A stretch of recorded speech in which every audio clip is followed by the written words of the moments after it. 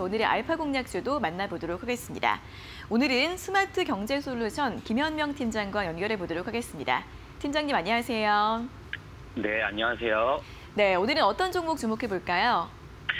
예, 제가 오늘 준비한 알파 공략주는 어, 바로 아남전자라는 회사입니다. 어, 이 회사는 굉장히 오래된 회사인데 이제 국내 최초 컬러 TV 제작을 시작으로 스마트 오디오 제품을 만드는 기업이라고 보시면 되겠습니다. 어, 약 50여 년간 이 개발 설계나 이 제조 노하우를 바탕으로 이 디지털 영상 기기와 좀 연계된 첨단 고부가 가치 convergence 가전 제품을 생산을 하고 있다면 하고 있고요.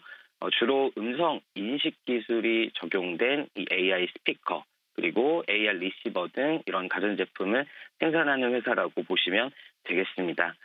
어, 아람전자가 좀 우리가 집중을 해야 되는 부분 중에 하나가 첫 번째로는 언제나 이 삼성전자 관련 모멘텀을 보유하고 있다라는 점이 되겠습니다. 어, 삼성전자가 이 하만을 인수를 하면서 본격적으로 오디오 산업에 이제 뛰어들었고 2014년도 이후부터는 어, 계속적으로 이 사운드바 글로벌 시장 점유율 1위를 차지하고 있는데요. 이 삼성전자의 이 하만, 이 하만에 직접 이 아남전자가 어, 전체 매출의 20%를 차지하고 있고 어, 개발 생산 그리고 주문자 위탁 생산 방식으로 납품을 하고 있기 때문에 어, 삼성전자의 어떤 실적과도 어, 좀 연동되는 부분이 있고 언제나 이 시장에서 삼성전자와 함께 조금 같이 움직여주는 모습을 보여주곤 했습니다.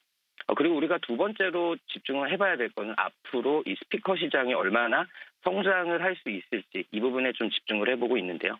어, 지금까지는 우리가 뭐 스마트폰이라든가 이런 웨어러블 기기들 그리고 지금 자동차 이런 데 들어가고 있는데 그 다음에 이제 현재 산업에서 이 자율주행차 그리고 이 AI 인공지능 그리고 로봇 시장에서 다 지금 조금씩 움직이고 있고 이 산업들이 발전을 하고 있는데 어, 이쪽들의 이 스피커가 이제 무조건 다 들어갈 거라고 보고 있기 때문에 앞으로 더욱 더 이런 첨단 고부가 가치 이런 어, 스피커 오디오 관련 회사들이 집중을 할 수밖에 없고 어, 그 가운데 이 아남전자가 우리가 주목해 볼 만하다. 어, 그만큼 새로운 시장이 열릴 준비가 되어 있고 개화하고 있는 시기라고 보시면 좋을 것 같습니다. 어, 세 번째로는 어, 이 회사의 실적 개선 추이, 어, 결국에는 이 턴어라운드가 발생한 것으로 보여지는데요. 어, 그동안 2020년 그리고 21년 약 2년 동안 이 매출액이 어, 이전의 이 평균 매출액과 영업이익을 뛰어넘는 어느 정도 이 턴어라운드가 발생했다. 아, 특히 21년 매출액이 이 3,598억은 전년 대비 35% 증가를 한 거고요. 그리고 이 영업이익 역시 151억으로 전년 대비 124% 어, 증가한 실적이 나왔었습니다. 하지만 이 오랫동안 전체적인 이 매출이 2천억이 안 되던 회사가 이제 3천억, 어, 4천억 전체적인 이 매출액에 대한 크기가 커져가고 있다라는 점에서 우리가 주목을 해봐야 될 것 같습니다. 어, 베트남 공장도 이렇게 건설되면서 생산 능력이 더 좋아졌다는 반증이 되겠습니다. 어, 차트 보시면서 가격적인 전략 말씀드리도록 하겠습니다. 어, 차트 보시면 현재 이제 2,400원 부근, 어, 최근에 한 2,000원 부근을 저점으로 좀 형성을 해주면서 오랫동안 바닥을 횡보해왔습니다. 이, 그러나 이제 바닥 횡보 이후에 상승 추세 전환하는 모습을 보여주고 있고 천천히 지금 우상향하고 있는데요.